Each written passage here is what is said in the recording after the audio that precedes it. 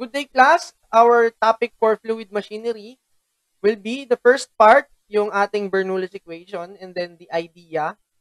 Second part, nung inyong pumps. So the problem solving will be done after the uh, discussions. So let's go with the discussion for Bernoulli's equation.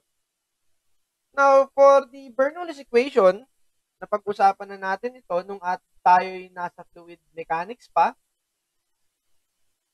So simply, it is an energy equation.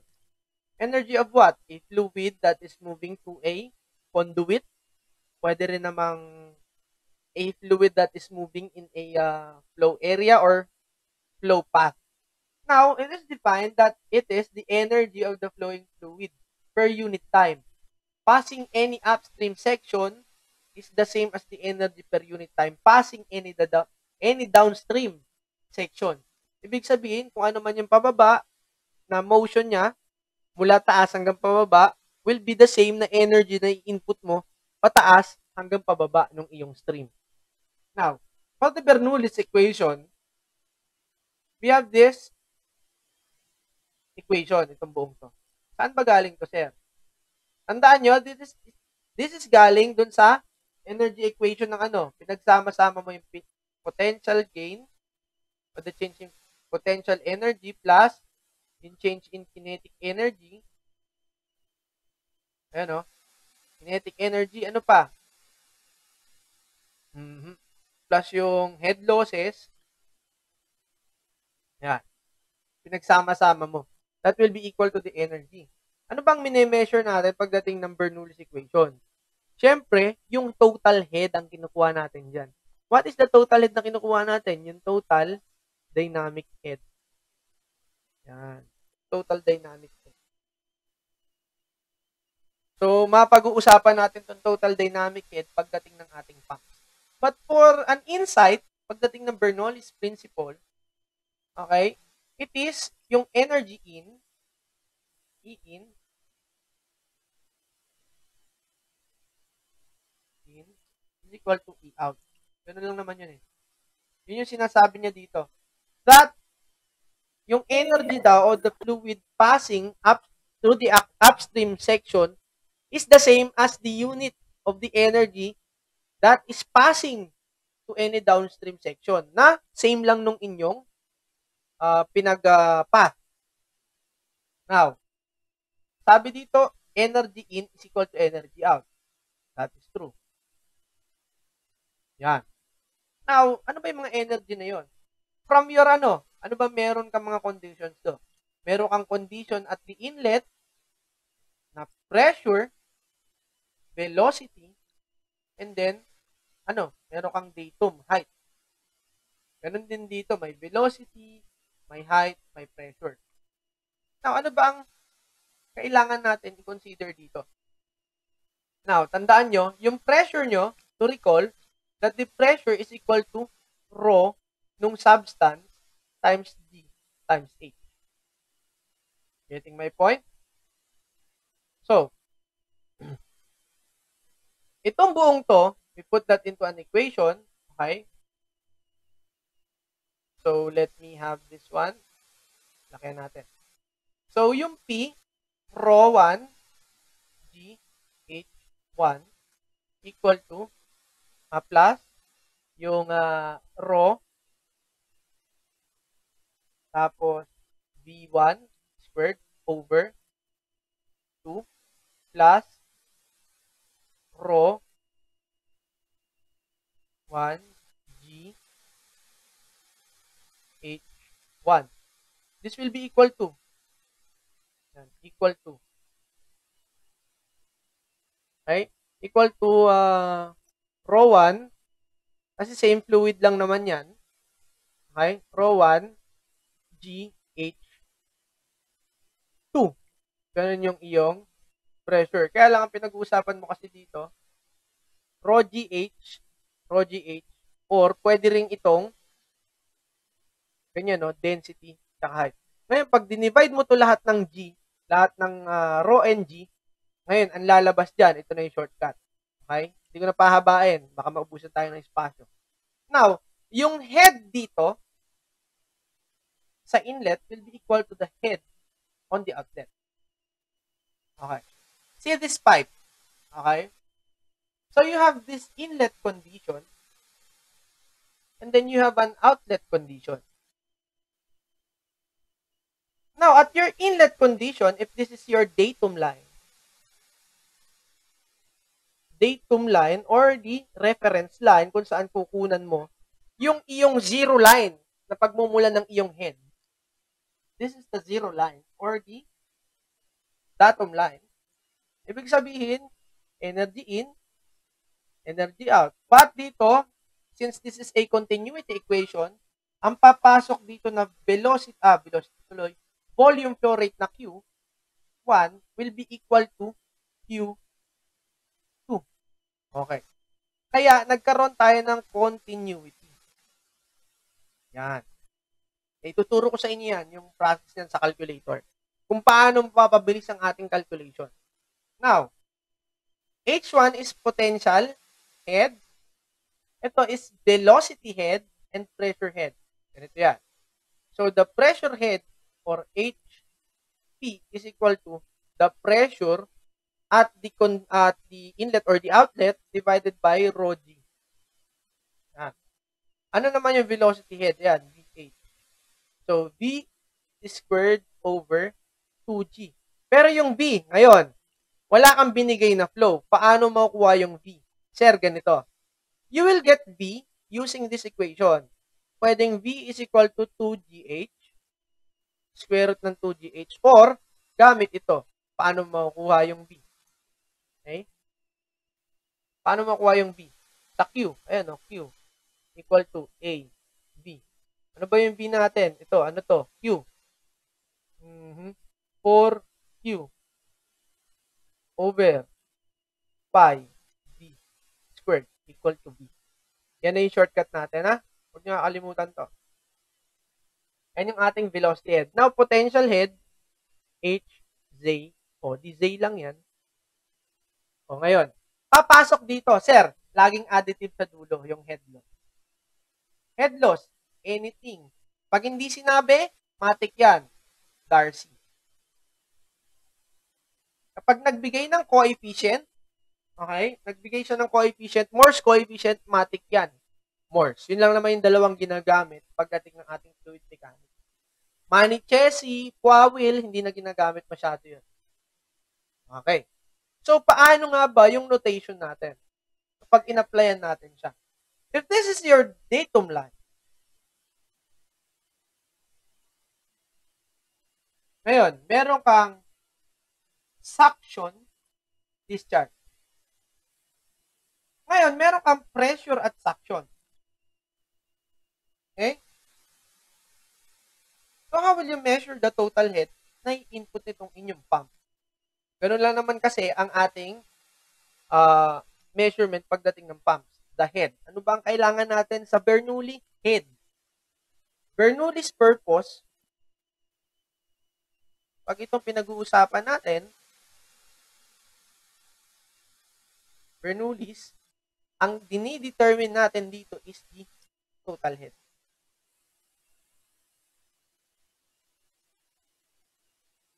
Yan. So, ano ba yung total head na yon? Okay? So, the total head for your Bernoulli, head total H na maliit, equal to yung head ni velocity plus pressure head plus yung static head plus head losses. Ayan. Kapag Bernoulli, yan lang pinag-usapan. Now, sir, meron ako ditong pressure. Ayan, pressure yan. Pakita natin. So, you have a pressure here. Pressure at suction. Meron ka ditong pressure at your discharge. Okay? Pressure at discharge. Meron kang size dito ng iyong pipe, is, ang size mo is uh, ganyan, suction. Tapos may size ka naman dito. May size ka dyan for discharge. Now, pagdating dito, pababa, okay, you have Z. Okay, ZF. Pataas, from your datum line, meron kang ZD.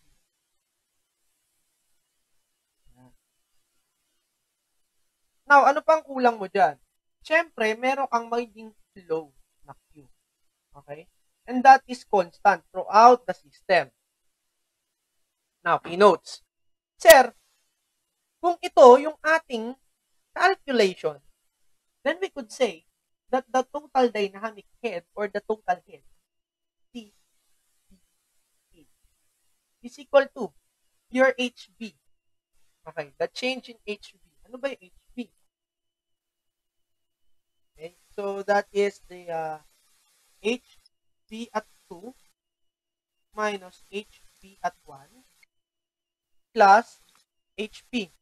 So, pressure head. Head pressure 1 or 2 minus head pressure ni 1 plus uh, the uh, head potential head ni 2 minus potential head ni 1 plus the total head loss. Anong gagawin mo doon? Ima-minus mo ba? No. Head loss. Head loss 1 plus head loss 2. Laging add yan. Okay. So, may nakalimutan ba tayo? Wala. Let us extract. Now, paano ko makukuha si velocity dito? V1.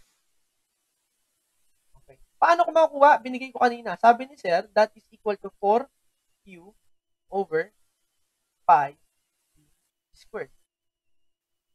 That is the formula. Ngayon, paano sa calculator? Okay, ganito. My friends, total dynamic head. Velocity head. Ayan. Meron kang V1 or V2, simple J. V2 squared over 2G. Ayan. Minus V1 squared over 2G. Plus, ano yan? Pressure head. That is excuse me, pressure to nung sa discharge, sa 2 na lang ginagawa ko. So, this is 1. This is 2. Ayan. So, P2 minus P1 divided by gamma. So, ano to? Ang lalabas dito is meter. Lalabas dito is meter. Meter column yan, ha? And ito, HZ is uh, Z2 minus Z1. Ang lalabas dito is in meter. Plus yung head loss. Head loss 2 plus head loss 1. Hindi mina-minus yan ha. Laging additive ang head losses. Kasi hahabulin ng system mo yung losses. So that is in meters. Sir, may technique po ba tayo sa total dynamic head? Yes, meron. Ngayon, in order for you to solve this, ganito yung input mo sa AlQ. Mas makikita nyo ito pag in-apply na natin. Okay? Ano ko muna? Lakayan ko. Di ba sabi ko yung V is 4Q, eh constant naman ng Q. So, 4Q over pi D2 squared. Tapos, square mo yan buo. That is V2. Okay? Minus over 2G minus, input mo ulit, 4Q over pi D1 squared. Squared. 2G. Sir, kakasya po ba sa calculator to? Yes, kakasya to. I assure you, kakasya sa calculator yan. I have done this too many times. In too many years. Napaulit-ulit ko na so-solve si total dynamic head ng ganun lang kabilis. So, this will be pressure 2 minus pressure 1 over gamma ng iyong fluid plus Z2 minus Z1. So, J plus yung head loss total. Head loss total. Sir, meron ka pa bang technique? Yes. Isolate muna natin to. Okay? So, dito, What if? What if? At suction,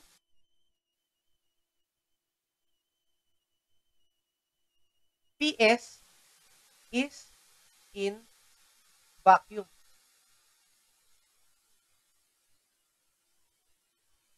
O nga sir, paano kung vacuum si suction pressure?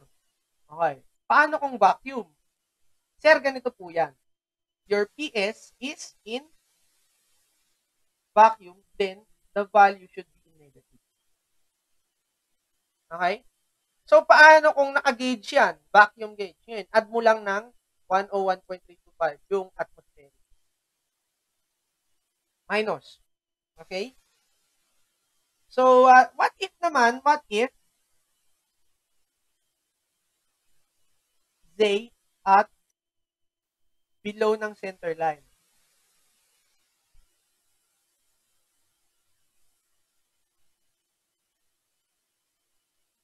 Of pump. Simple. Kapag below ng center line, okay, syempre, negative yan. Below nga eh. 3 is negative. Okay? Tignan nyo dito sa sa drawing. Below na center line, therefore, this is negative. And this one is positive. Sir, paano kung nandito siya? Ito, another scenario. Let us see. What if nandito si JS nasa taas? Ano mangyayari sa elevation head ko dyan? Eh, yung Z mo nandito, JS. Sir, ganito yan. Okay? Kapag nandito, ang equal dito, yung total HZ mo, equal to ZD minus, positive to, di ba? Positive. Plus ZS. Okay. So, this will be ZD minus ZS. Sir, paano pag nasa baba? Di ba ZS is negative? So, HZ is equal to, ano? ZD minus minus ZS. Then, that is the time magiging ZD plus ZS. Okay? You getting my point? Ah, maliwanag? Okay? So, uh, ganun lang yon Paano pag vacuum? So, minus, add ka na lang ng parati ng atmospheric kahit minus siya. Okay? Para gawin natin siyang absolute. Okay? So, that is the first part ng inyong discussion pagdating ng ating uh, Bernoulli's equation. Okay? I have prepared seven problems here. And those problems are uh, solved na. All you have to do is to watch those problems. Okay? And then let us take a break. And uh, let me go to your pumps after this.